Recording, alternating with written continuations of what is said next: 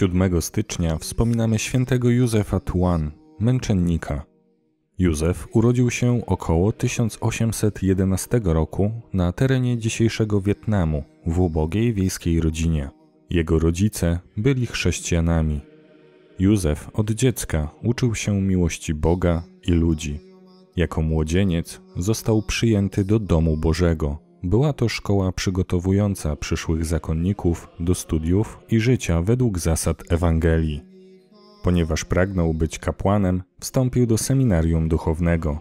Nie wiadomo, kiedy przyjął święcenia. Wiadomo natomiast, że jako kapłan w 1857 roku wstąpił do zakonu ojców dominikanów, by w tej wspólnocie zakonnej jeszcze lepiej ewangelizować.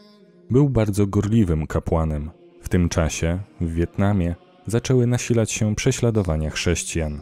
Józef działał w ukryciu. Na początku 1861 roku pewna starsza chora kobieta wysłała do niego swojego syna z prośbą, by przyszedł i udzielił jej sakramentów świętych. Niestety jej syn był zdrajcą.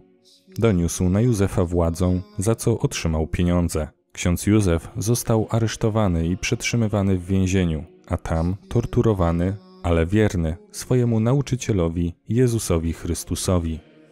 Mimo, że cierpiał, w więzieniu głosił Ewangelię i pocieszał współwięźniów. Błogosławił też parafian, którym udało się go odwiedzić. Józefa skazano na karę śmierci poprzez ścięcie. 29 kwietnia 1861 roku został przewieziony na miejsce egzekucji. Chrześcijanka, która była na miejscu stracenia, zaświadczyła, że szedł z trudem, gdyż nogi miał zakute w ciężkie kajdany, ale szedł godnie, uroczyście i niemalże radośnie. Józef uklęknął i wypowiedział najświętsze imię Jezus i spokojnie czekał na śmierć. Już w dniu wykonania wyroku uważany był za męczennika za wiarę. Beatyfikowany został 90 lat później, 29 kwietnia 1961 roku, a kanonizowany 19 czerwca 1988 roku przez papieża świętego Jana Pawła II w Rzymie w grupie 117 męczenników wietnamskich. Módlmy się.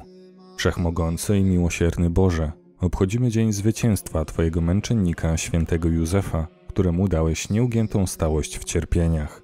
Otocz nas swoją opieką i wybaw od zasadzek nieprzyjaciół, przez naszego Pana, Jezusa Chrystusa, Twojego Syna, który z Tobą żyje i króluje w jedności Ducha Świętego, Bóg przez wszystkie wieki wieków. Amen.